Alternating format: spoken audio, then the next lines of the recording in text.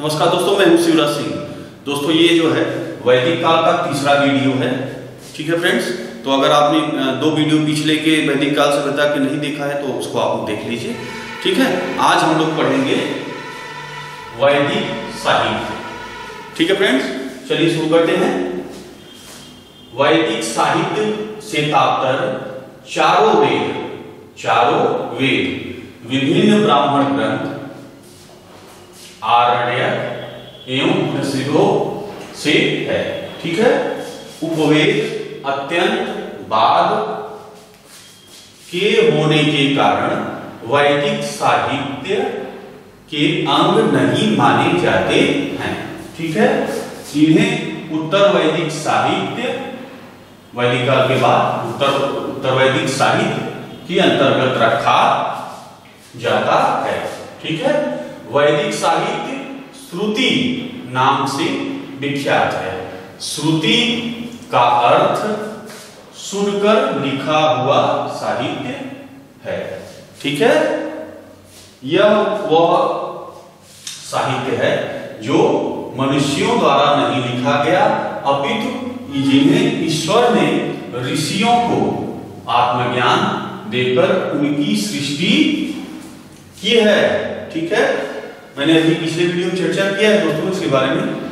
तथा ऋषियों द्वारा यह कई पीढ़ियों तक अन्य ऋषियों को मिलता रहा। ठीक है?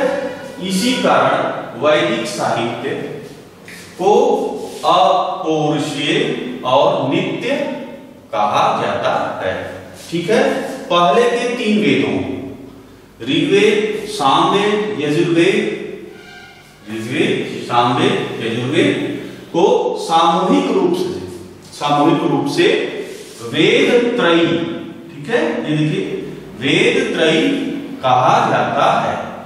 अब चौथा वेद अथर्वेद इसमें सम्मिलित नहीं है, ठीक है? क्योंकि इसमें यज्ञ से भिन्न लौकिक विषयों का वर्णन अब ऋग्वेद को विस्तृत रूप से देखते हैं, ठीक है? चलिए, पहला पॉइंट वेदों में से ऋग्वेद विश्व का प्राचीनतम धार्मिक ग्रंथ है, ठीक है?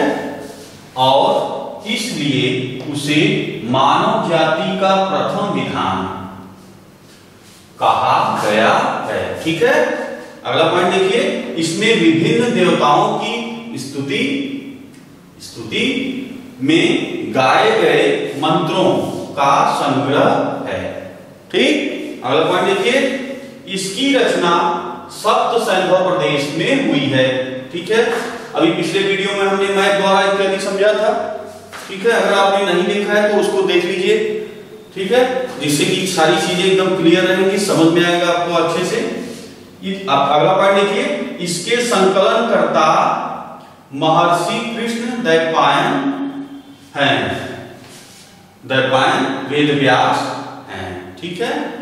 इनका उपनाम जो है, वेद व्यास है। और महर्षि कृष्ण दैपायन नाम है इनका। ठीक है? ये ध्यान दीजिए दोस्तों, ये संकलन करता है।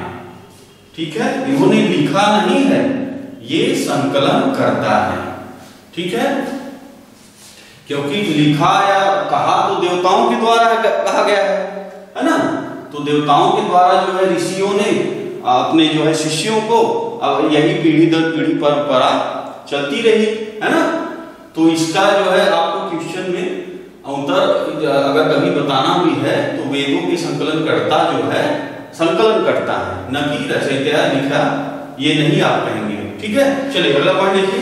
ऋग्वेद में एक हज़ार सत्रह, और देखिए वाल्खिल्य पाठ के ग्यारह सूक्तों को ग्यारह सूक्तों सहित कुल एक हज़ार अट्ठाईस।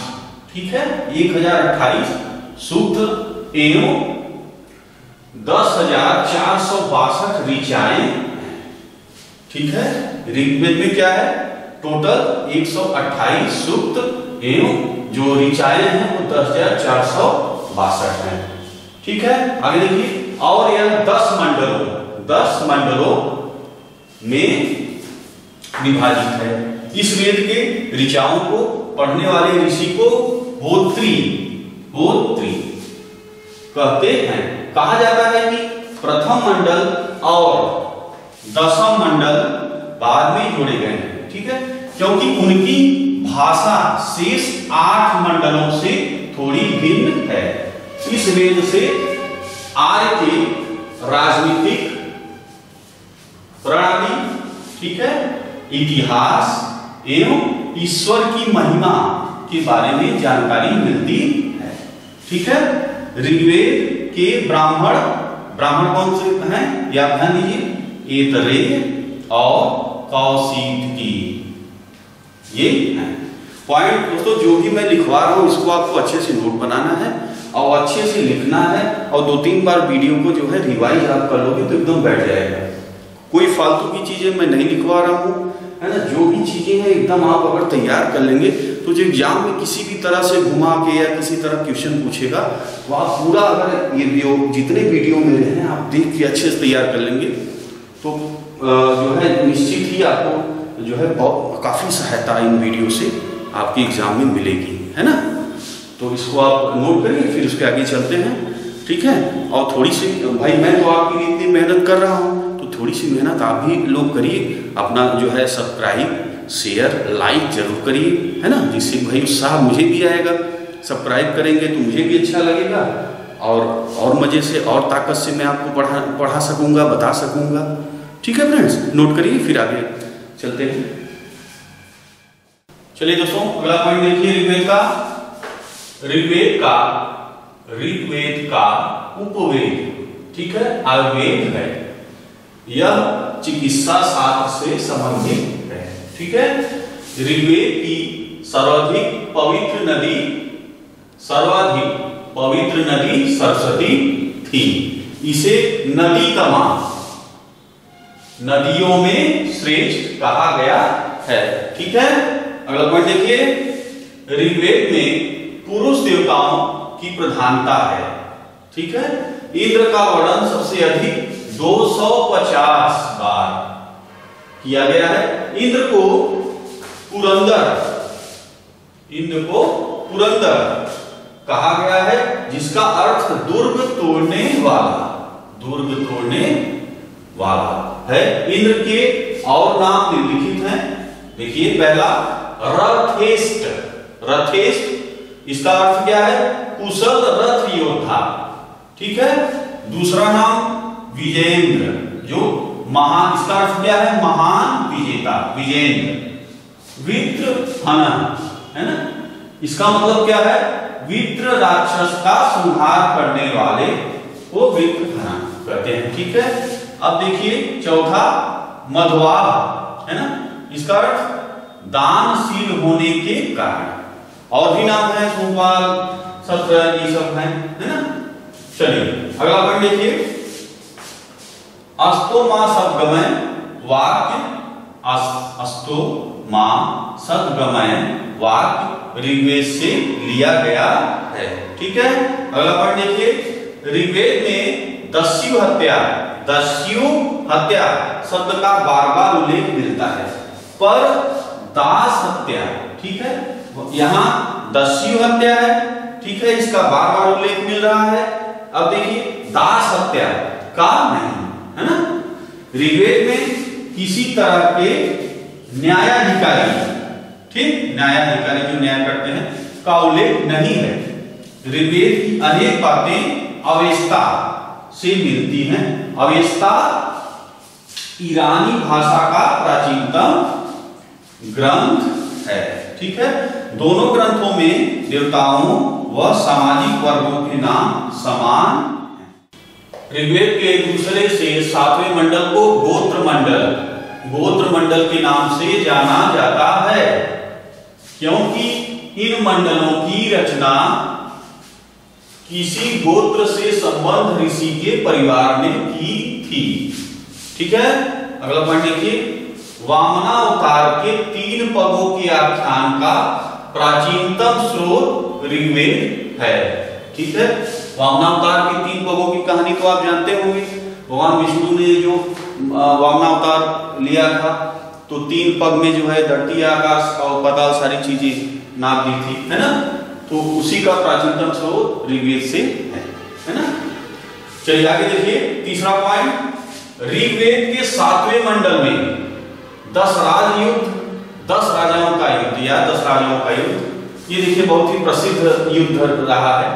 ऋग्वेद के जो मिला है। सच का युद्ध का उल्लेख मिलता है। दस राजाओं का युद्ध, त्रित्सु त्रित्सु वंश ठीक है? कि एक भरत राजा भरत राजा सुदास, तथा दस सुप्रसिद्ध जनजातियों के परिसंग, जनजातियों के परिसंग, है ना? और ये सुदास के बीच के बीच हुआ था। ये जनजातियाँ थी। कौन कौन थी? ध्यान दीजिए।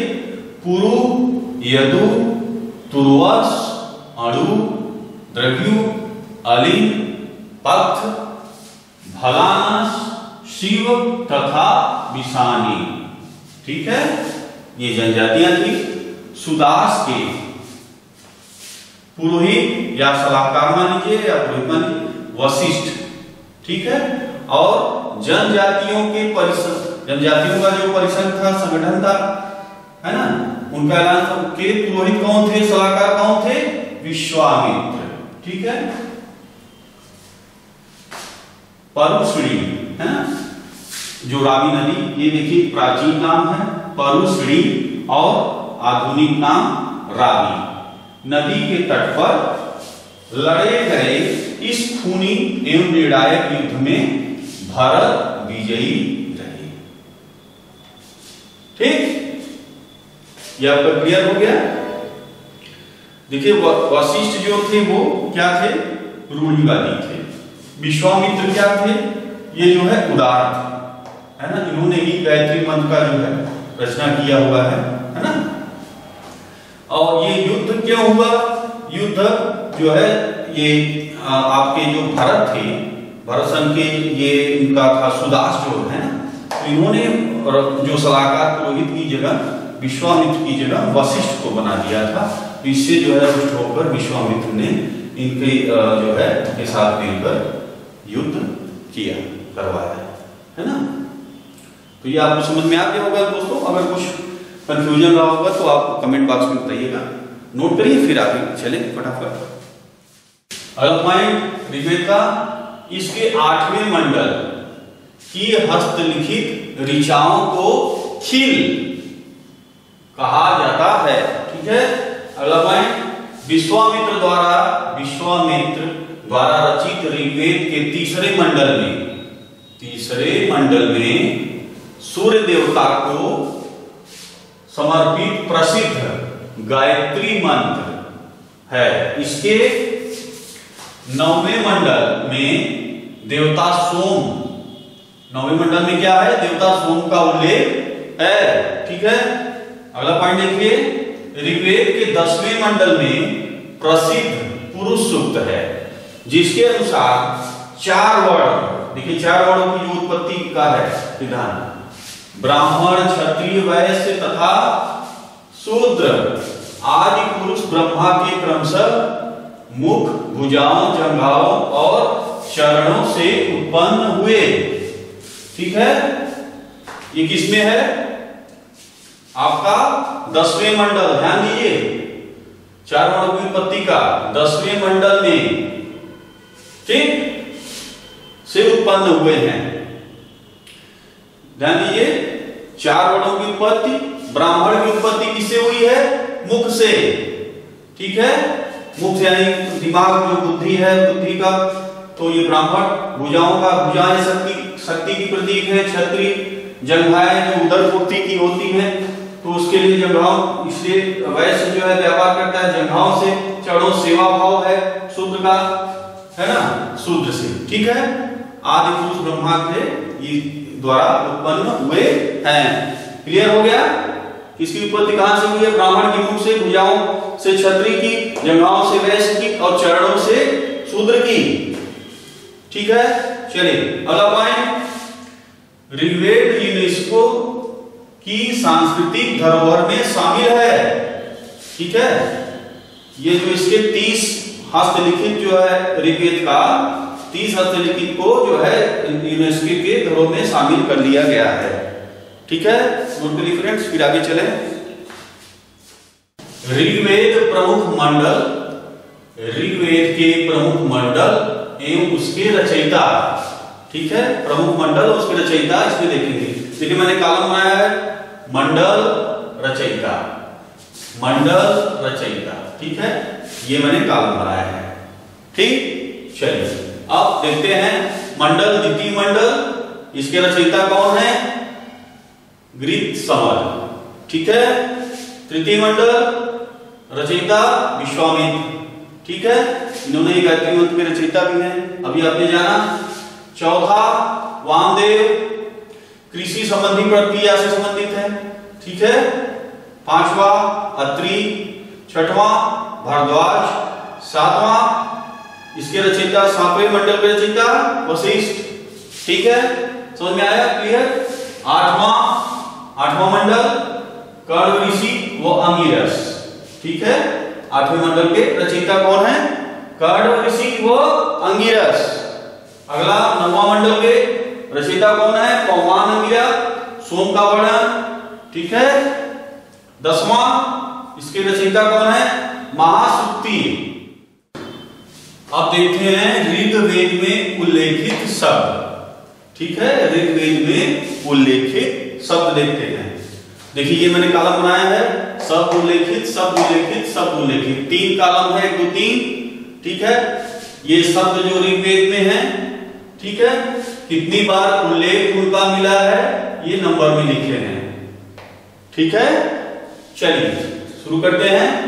पहला, पिता, ठीक है? इसका उल्लेख कितनी बार हुआ है? 335 दूसरा है जन। जन का उल्लेख कितनी बार हुआ है? दो इंद्र। इंद्र का उल्लेख कितनी बार हुआ है? 250 माता 234 अस 215 अग्नि 200 गौ या गाय, कितना है? 176 ठीक है?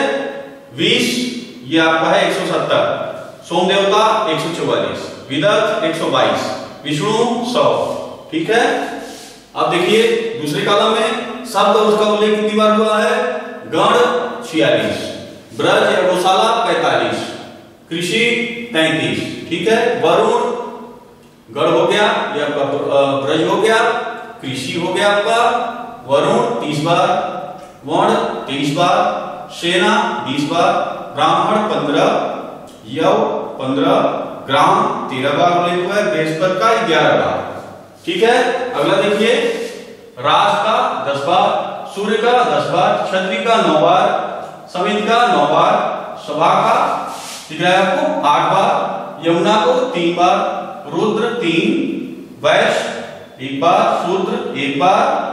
गंगा एक बार। राजा एक बार। पृथ्वी एक बार। मित्र का एक बार उल्लेख ऋग्वेद में है। ठीक है?